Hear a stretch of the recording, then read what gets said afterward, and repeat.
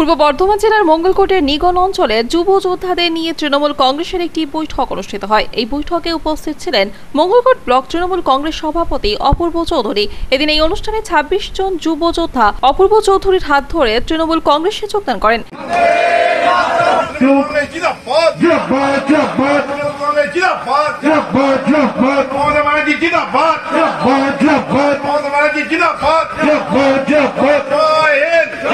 এদিন এছাড়াও উপস্থিত ছিলেন নিগন অঞ্চলের সভাপতি ধ্রুব ভট্টাচার্য, নিগন গ্রাম পঞ্চায়েতের প্রধান রীতা রজক, সংখ্যালঘু সেলের সভাপতি ইব্রাহিম খান যুব যোদ্ধার কর্মী অনিরুদ্ধ চৌধুরী সহ অন্যান্য নেতৃত্ববৃন্দ।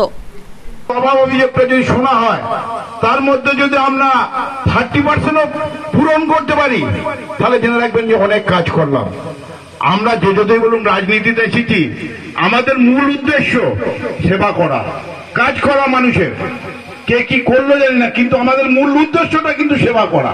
মঙ্গলগড় থেকে আমিরুল ইসলামের রিপোর্ট আনন্দ বার্তা